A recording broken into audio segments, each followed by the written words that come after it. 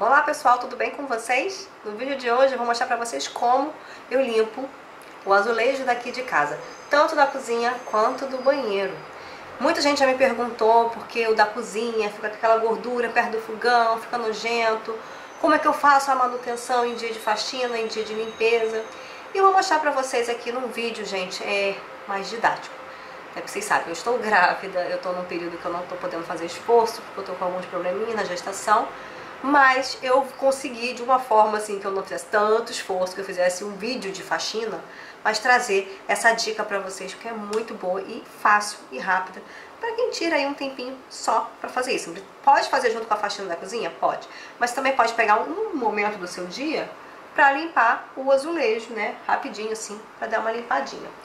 Eu vou começar primeiro, gente, falando dos produtos que eu uso. Na cozinha, nessa região assim ao redor do fogão, né, das paredes que eu tenho aqui em volta do fogão, eu gosto de usar um, o mesmo desengordurante que eu limpo o próprio fogão em si. Eu boto em volta no azulejo, deixo de molho assim rapidinho, um minuto. Depois eu venho com uma esponjinha e esfrego pelo lado grosso. Vou esfregando, vou esfregando, vou esfregando até sair. Também resolve muito, é, isso é dia de faxina grossa, tá? Porque eu costumo fazer a manutenção. E nessa manutenção, eu limpo com apenas vinagre, ó. Eu tenho um borrifador aqui com vinagre, tá? Então eu boto o borrifador com vinagre e já vou escovando na hora, tá? Se não for com a esponjinha, pode ser com aquelas escovinhas de limpeza. Você bota, vai esfregando, vai esfregando, bota uma música, vai esfregando e vai soltando. Faz isso uma vez por semana, você não vai ter problema com gordura no seu azulejo, aquelas manchas, não vai ficar chechelento, não vai ficar nada. Já no banheiro, gente, eu costumo fazer de uma forma mais prática, porque eu tenho é, lenço desengordurante. Esses lenços desengordurantes também limpam a, a cozinha, né? Então se você viu que você fez fritura na hora, é, ou o banheiro está vendo que quer fazer uma limpeza só para dar um cheirinho rápido, eu uso esse lenço desengordurante. Passo em volta, ele já tira a sujeirinha ali da hora e né, fica bom. Então o que, que eu faço? Eu pego esse lencinho aqui e eu boto no mopzinho que eu tenho próprio para esses lenços e vou passando em todo o azulejo do banheiro uma vez por semana. Né? Uma vez por semana eu faço isso, que é manutenção. Passo assim, né, rapidinho. Não leva gente mais do que, sei lá, 3 minutos fazendo isso, é uma limpeza rápida que você vai fazendo de cima e embaixo. E graças a Deus, por causa desse mop, eu não preciso subir escada, nem fazer esforço, não preciso ficar subindo e descendo. Agora, dia de faxina, do banheiro, aquela faxina pesada, mais grossa, faço uma, duas vezes. O que, que eu faço? Tem o borrifador do banheiro, eu já deixo lá para borrifar na pia, né, fazer a manutenção dia a dia. E pego esse borrifador, que é essa misturinha aqui, é metade de cloro, metade de água, tá? Partes iguais. Então eu pego, né, esse aqui é o cloro gel. E aí eu passo o borrifo todo, o azulejo de cima a baixo, aí eu tenho que usar a escada. Faço de cima a baixo, passo, e depois é, é, eu passo o mop. Mop normal aquele que eu uso, tem resenha até aqui da Scott Bright. Passo o mop para tirar o excesso do produto. Torço ele, boto no balde com água e vou tirando o excesso do produto. Esse cloro fica agindo ali mais ou menos uns 5 a 10 minutos antes de eu tirar com o mop. Agora que eu tô grávida, que eu não posso fazer esforço, o que, que eu faço? Eu boto um paninho, pode ser um lencinho, pode ser um papel absorvente que vocês tenham em multiuso. Eu borrifo o cloro né, nesse lenço e vou fazendo isso. Deixo ali de molho e depois eu venho com o mop fazendo para ficar limpinho. Porque o meu banheiro ele não tem muita circulação de ar, então ele dá mofo muito fácil nos jejuns. Escurece muito fácil, então essa limpeza com cloro eu tenho que fazer mais recorrente. É, antigamente eu subia na escada, borrifava esse cloro e ficava esfregando, esfregando, esfregando, esfregando. Mas aí eu percebi que com recorrência, não preciso fazer isso.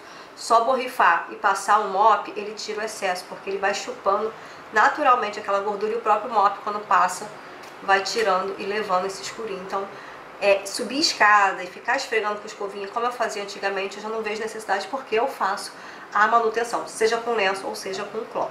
Agora aqui na cozinha, gente, é, eu também uso o, esse mop com lenço é, para fazer uma coisa mais a jato, nos cantos mais de cima da cozinha, porque eu não alcanço. Mesmo quando eu podia subir escada, eu já estava fazendo assim. Eu borrifava é, cloro no, no, no, pano, fazia isso com um paninho, e limpava todo o azulejo, depois vinha com o mop tirando o excesso. Então é assim que eu tenho feito.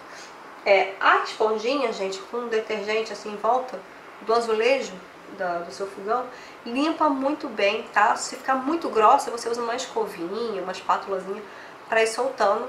Mas o importante mesmo para limpeza do azulejo é você fazer uma boa manutenção. E aí você vê no seu cronograma de limpeza se você faz toda semana, se você faz a cada 15 dias, o que, que fica melhor para você. E aí você vai ver que você não precisa ter muitos produtos, não precisa ter quase nada, na verdade, né? Se você tiver um bom desengordurante, ou só vinagre, ou só o cloro, eles limpam muito bem. Eu vou misturando entre um e outro, porque eu uso muito mais o desengordurante, que esse aqui é o, o Veja Cozinha.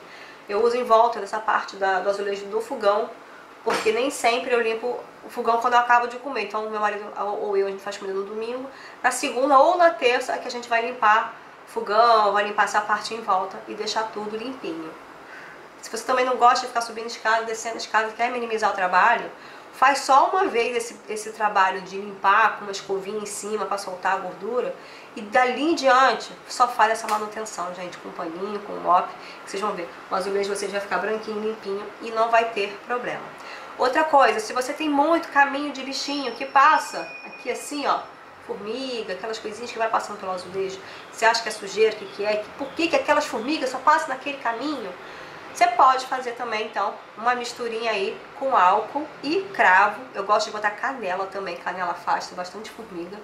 Deixa essa misturinha ali durante um dia até escurecer e aí você borrifa no seu azulejo aonde as formigas estão passando e depois você vem com um pano por cima só para tirar o, o, excesso daquele caldo marrom que fica.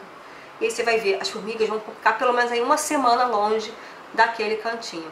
E é outra coisa, se você tem recorrência de formigas, essa limpeza desse azulejo nesse cantinho tem que ser feita sempre né, com essa misturinha, né? A não ser que você detetize sua casa e realmente se livre dessas formigas.